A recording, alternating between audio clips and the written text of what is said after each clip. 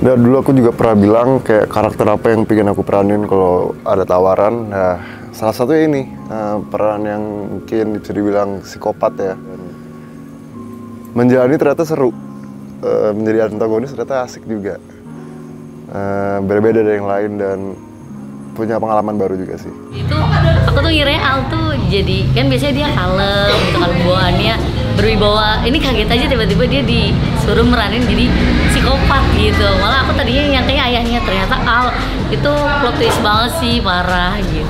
Eh, pengennya kan kalau baik udah jahat udah. Pengen jadi yang orang sakit gitu coba. Maksudnya yang pakai kursi roda yang kayak gitu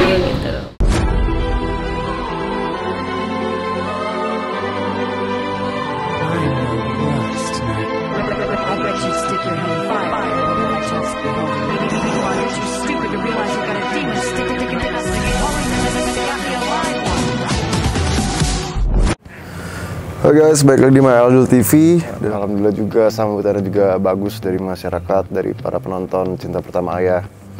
Ya walaupun karakterku diserang sih ya, emang sih karakterku emang kejam di sini ya.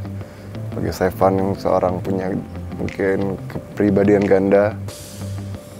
Dan itu pun juga karena didikan yang salah sih. Jadi masih masih play victim. Masih kayak Stefan dan dulu aku juga pernah bilang kayak karakter apa yang pengen aku peranin kalau ada tawaran. Nah, salah satunya ini eh, peran yang mungkin bisa dibilang psikopat ya. Nah, kalau di untuk di film ya, acting nih, kira eh, karakter apa yang mau lo explore? Yang ingin banget ya misalnya Joker kayak apa gimana ya? Kalau gue pengen banget jadi apa namanya antagonis pak, tapi yang gue tuh susah banget dilawan. Misalkan apaan ya? Eh, Berarti sih, ya udah filmnya Batman deh, yang lawan Joker. Kan dia susah banget dilawan tuh, sampai ending. Batman-nya susah ngelawanin Joker kan? Joker jadi Joker. Jadi Jokernya, jadi sampai ending gue tuh musuh tersusah, tapi ujungnya gue kalah. Nah, itu gue pengen banget nih jadi antagonis paling kuat, cuma nanti gue kalah. Gue ngerti gak? Antagonis yang susah banget. Kan antagonis kan banyak tuh, ada yang awalnya mati. Berarti nggak se- selama ini berarti lu nggak pernah jadi antagonis? Antagonis mulu gue malah Antagonis gak mulu. pernah Nggak pernah antagonis pernah nggak pernah. Jadi gue pengen jadi Joker. Nah, tapi jeleknya gue adalah perannya gue antagonisnya kalah duluan. Kalah duluan. Ya, kayak sekarang dia yang gue malu. Iya iya. Kan udah dari awal udah kalah nih. Bukan yang kayak si cewek yang gue mau tuh sama gue dulu nih baru lu rebut di ujung kan kayak gitu kan gitu jadi gue pengen banget tuh yang sampai kalahnya kalah di ujung nih jangan di awal-awal lah pengen banget sih gue jadi kelihatan serem gitu pak. Kalau apa?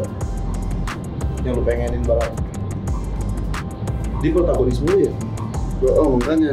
Mungkin ya di antagonis juga sih mungkin lu mau jadi musuh jati Heeh, gitu.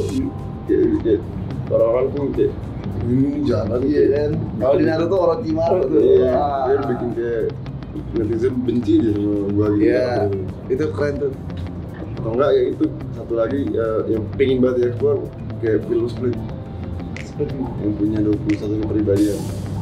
Udah kali. susah gitu. Wah, yang swing dia gantinya gimana gitu juga lagi tawa-tawa gitu parah. Juga berapa detik udah nangis.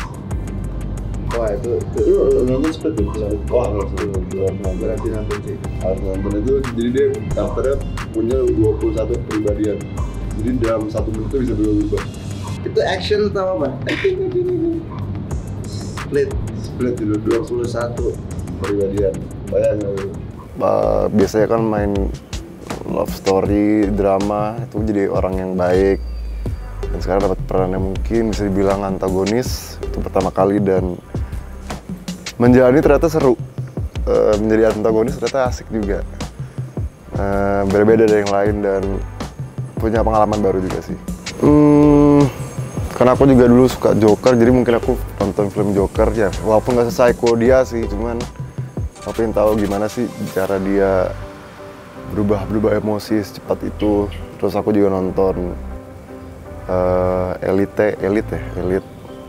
Itu juga aku eh, nonton, aku cermati baik-baik gimana cara jadi orang psikopat. Ya walaupun di sini walaupun scene pendek, ya ada scene aku berubah emosi itu. Walaupun nggak banyak, cuman ya itu satu scene aja itu udah lumayan berat sih menurut aku sih. Mungkin karena aku juga pertama kali jadi agak berat. Ini bukan Al sih. Oh iya emang. Itu dengan maksudnya dengan reading aja tuh udah kebayang. Maksudnya dari gue baca skrip tuh udah kebayang banget kayak wah gila sih. Itu gila banget sih. Itu gila. Intinya itu gila. Wah 100% kalau bisa 1000 1000 sih. Karena Al yang aslinya aja orang aja nggak bisa nebak kan. Al kayak gimana. Iya kan?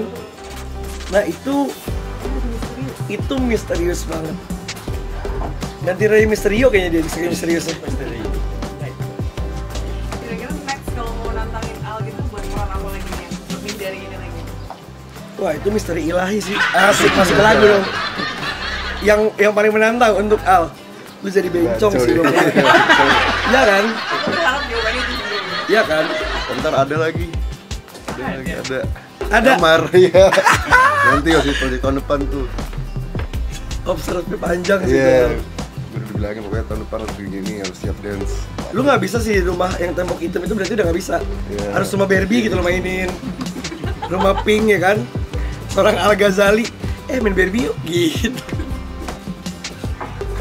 Gimana keseruannya? Syuting gini gimana?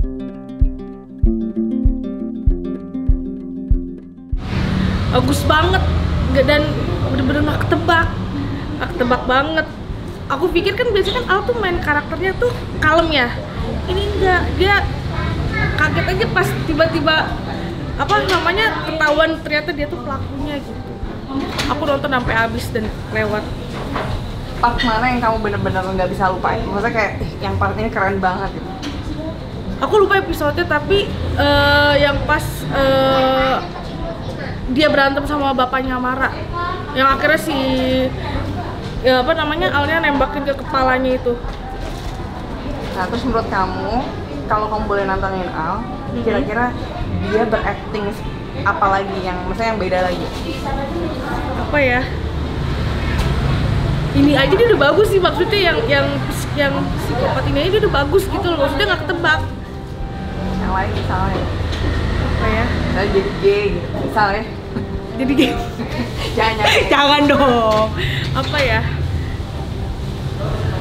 kayaknya udah semua ya Coba. Kebanyakan kalem sih Pengennya apa? Kamu lebih suka dia antagonis atau protagonis? protagonis dompet dia sweet terus Oh jadi kamu lebih suka ngeliat Al jadi cowok sweet ya? Eh, eh, tapi yang ini dia keren tapi ini dia keren keren banget Actingnya Al sih bagus banget ya. Cuma sedih aja gitu ngelihat Al jadi jahat gitu. Kayak ih gitu gemes gitu. Nggak nggak nggak nggak pantas jadi orang jahat karena kan wajahnya kalem anak baik kok tiba-tiba jadi jahat gitu kayaknya. Aduh gemes gitu jadinya. Nggak nggak nyangka. Actingnya sih bagus bagus banget.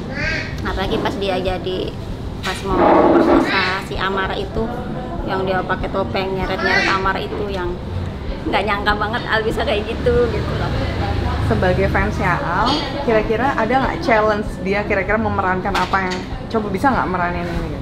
Eh, pengennya kan kalau baik udah jahat udah pengen jadi yang orang sakit gitu coba maksudnya yang pakai kursi roda yang kayak gitu gitu pengen maksudnya biar aktingnya makin berkembang aja sih.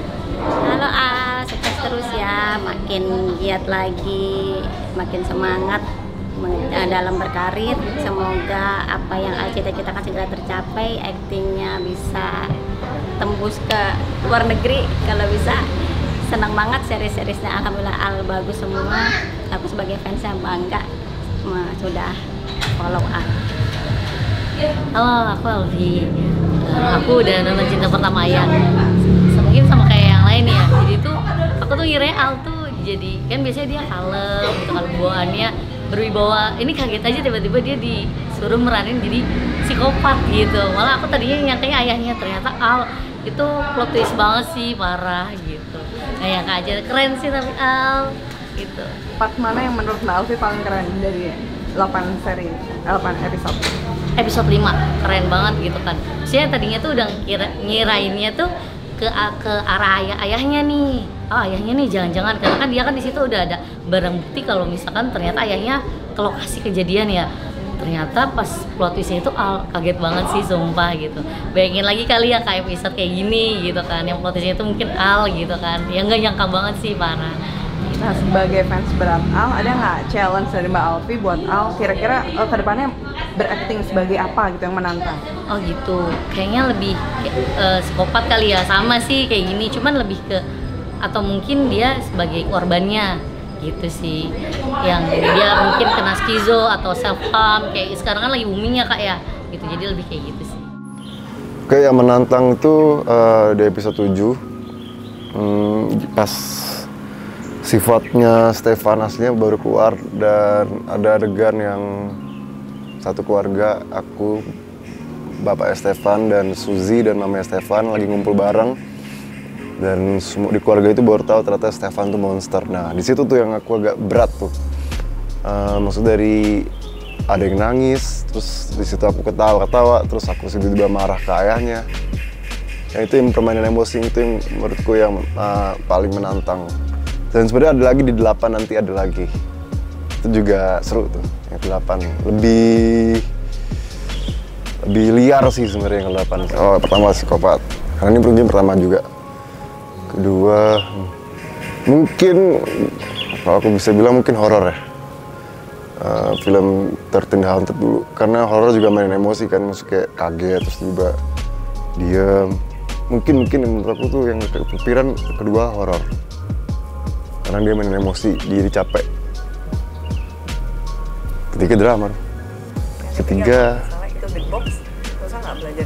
Beatbox, hmm, masih oke. Action sih action.